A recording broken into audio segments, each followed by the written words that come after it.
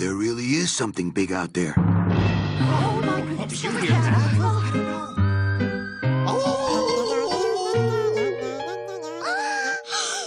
It's the ghost!